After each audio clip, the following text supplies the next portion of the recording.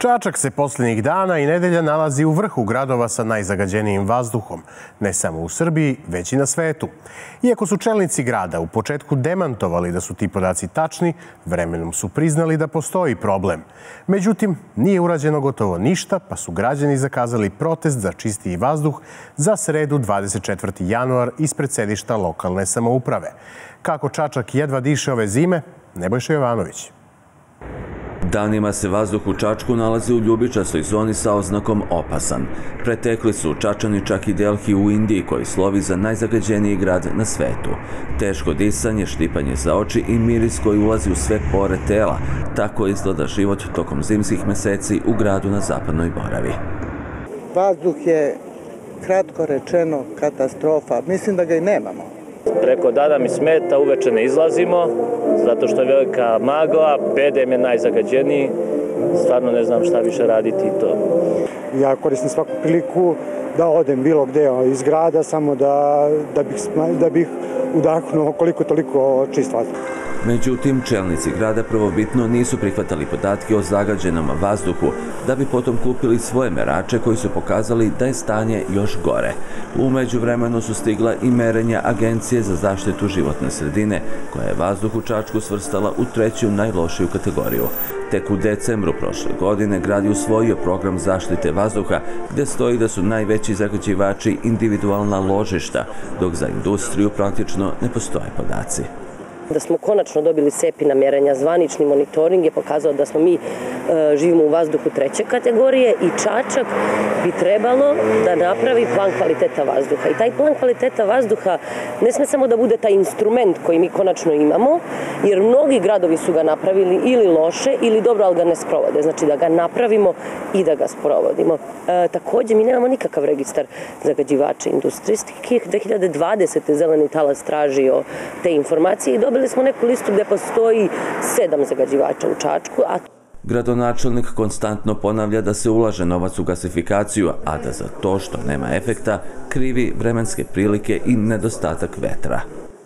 Svi živimo ovde, i ovi, i mi koji živimo ovde, naravno da volimo da udišemo što čisti i zdravi vazduh. Tiče se zdravlja svih nas i naše dece i nas i naših roditelja ali mi činimo sve što možemo, mi želimo predloge. Ne ulazimo uopšte u merenja, verujte mi, da li su nekada bila merenja ovakva, sada su ovakva, uopšte to nije bitno. Mi e, vidimo i znamo kada, su, kada je oblačno vreme, kada se ti oblaci spuste na naš grad, kada nema vetra, e, vidimo i osjećamo da je zagađenje postoji i to je nesporno. Pa mi svi živimo ovdje. Ali hoćemo predloge šta možemo svi zajedno da uradimo da to bude bolje. Druge mere grada bile su simbolične, bolje reći, neuspešne. U pitanju su konkursi za zamenu stolarije, kotlova i izolaciju stambenih jedinica. U prvoj godini smo imali nepotpunu dokumentaciju, znači nismo prošli konkurs. Prošle godine ja sam, uh, Zeleni talas je znači pozvao gradsku upravu i to je nezvanična informacija, ali mi smo otprilike zamenili 16 kotlova. Na teritoriji Čačka postoji 11 i po 11.400 kotlova i onda možete sami da proračunate koliko će vremena trebati da se uh, kvalitet vazduha poboljša. Mm, Takođe imamo konkurse koji su ove godine raspisani, jedan je završen 31. decembra, to je taj Ministarstvo rudarstva i energetike I nažalost, opet se nedovoljan broj građana prijavio za konkurs.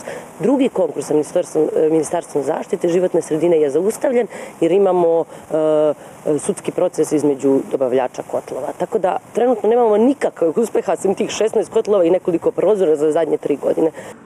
Čačanima nisu potrebne studije kako zagađen vazduh utiče na zdravlje, jer je dečije odaljenje prepuno bolesne dece.